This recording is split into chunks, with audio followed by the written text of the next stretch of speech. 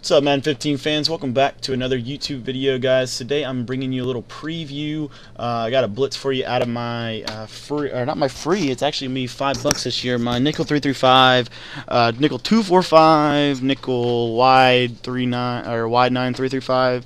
Uh, both all three of those are going to be included in this guide, and we're showing you a little blitz here out of it. Uh, real quick, I just want to go over the one one of them out of the 245 and this is one that was actually around last year um, and, it's still here it's still in the game and uh, the, the blitz comes to us from the silver sh silver shoot pinch and the nickel 245 formation uh, we're going to try to generate a gap pressure and I do understand that this is uh, a blitz that maybe works 60 40 or 70 30 percent of the time but uh, it is a good blitz. I think it is good mainly because there's a coverage version of it that is actually really effective. So, uh, silver shoot pinch for the Nickel 245. What we want to do is we want to come out, we want to pinch the defensive line, we want to crash the defensive line down, and we want to zone everybody on the right or the left side of the screen. So this defensive tackle here, or the defensive end on the left side, we want to zone him up. He's actually a linebacker in the 245. And then a the slot corner here, Powers, we want to zone him off as well.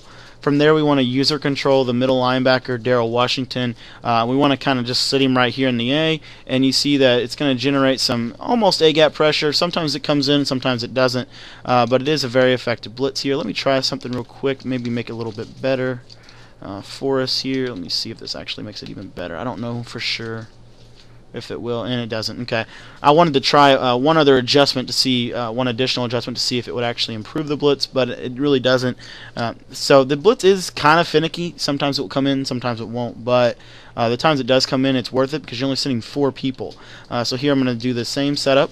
I'm going to pinch the defensive line, crash the defensive line down, and then I'm going to zone everybody on the left side of the screen. Uh, and then I like to user control with Washington over the middle in here. Uh, you see that they did a better job at picking it up that time. The more you run the play in practice mode, the, the easier it is to pick up. Uh, one other thing real quick. Just want to see if this works even a little bit better. It doesn't. Okay. So I wanted to try spreading the linebackers because there's a blitz I got in the E guide that's actually um, it's actually better if you spread the linebackers. Anyway, uh, so that is the four-man version. Real quick, I'm gonna just run a blitz off the other side here. Uh, let me see if I've got it in this playbook. I do have it in here. So I just want to run a blitz off that other side just to kind of free, uh, get the lineman thinking that way so I can run the other blitz and show you the rest of it. But um, uh, let's see here. I want to show you the coverage version first. Uh, so the coverage version you can run out of any uh, basic coverage. Uh, so you can like run out of cover 2, cover 3. I have the cover 2 show 4 in my audibles here. And what I like to do is uh, it's very fairly simple. You just want to base a line you want to pinch the D line, you want to crash the D line down, and then from there, I like to man up both of these outside uh, linebackers here on a, on the slot receivers. And you see in this situation, you're only sending two people. Uh, sometimes this is actually even better, and you see there comes the comes through the A gap. Uh, it gets caught up a little bit as he's getting back to the quarterback, but it is a fairly effective blitz. We'll show it to you that. Show that to you one more time here. Uh, so any basic play, and you just want to base a line, pinch the D line down, crash the D line uh, to the middle, and then you just want to zone off or I like to man up if you're in a zone play, man them up, and uh, you do that to the two outside linebackers. And so you're only sending two people. And this one actually comes in a little better in practice mode, but the one that sends like four, uh, it comes in a little bit better in the game mode. So you see, you'll see what I'm talking about when you get to the in-game online head-to-head mode. Uh, so real quick, we'll do a little review. We'll do both of them one more time.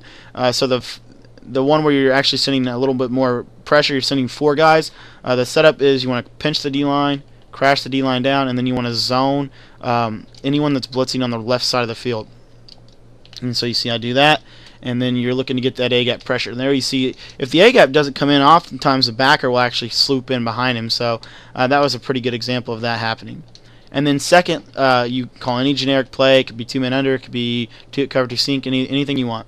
And you want to base a line, pinch the D line, crash the D line to the middle, and then you can zone or man up those two defensive ends on the outside. Uh, you're only seeing two people, and uh, this one often gets uh, some decent A-gap pressure at the quarterback. Uh, if the, obviously, if the quarterback eludes the sack, there's really not a whole lot I can do for you, uh, but it is a good blitz. Hopefully, you guys enjoyed this video. Uh, and real quick, just be sure to be on the lookout for some more Madden 15 videos that I'm going to have coming soon. We're going to be talking how to beat man, how to beat zone, how to blitz beyond just blitzes like this, where kind of unique to a formation. We're going to show you how to universally blitz and all that. So be on the lookout for that. Otherwise, guys, that's all I've got for you today. Thanks for watching, and we'll